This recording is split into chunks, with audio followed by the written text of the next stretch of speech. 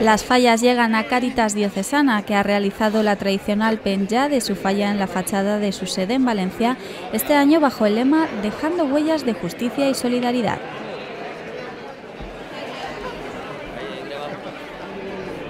Una falla denuncia elaborada por los participantes en el programa de acompañamiento a personas sin hogar, el voluntariado y los trabajadores de la institución. Tras su instalación ha tenido lugar la lectura de un manifiesto en torno al lema de la falla es tratar con dignidad y respeto a todo ser humano. En el acto han participado la fallera mayor de Valencia, Alicia Moreno, y la fallera mayor infantil, Sofía Soler, acompañadas de sus respectivas cortes de honor, que han recibido la insignia de Caritas de la mano de su presidente, Ignacio Grande. Caritas es vuestra casa. Gracias por creer en nosotros y por eso estáis aquí.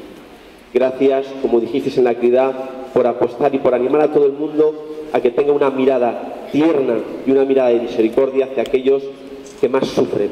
Gracias por acordaros de ellos. Caritas, como he dicho, es vuestra casa. Y ojalá el 19 de marzo, día de San Josep, no solamente quememos los monumentos falleros, sino también quememos todo aquello que nos impide crear una sociedad, y vuelvo a insistir, más justa donde todos quepamos y donde en un orden de prioridad tengamos siempre una mirada hacia aquellas personas que vosotros lo dijisteis en la actividad, hacia los enfermos y hacia las personas más desfavorecidas.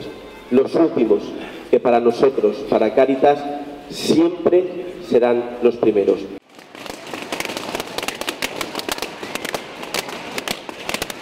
El acto ha finalizado con una globota y horchata con fartons para todos los asistentes.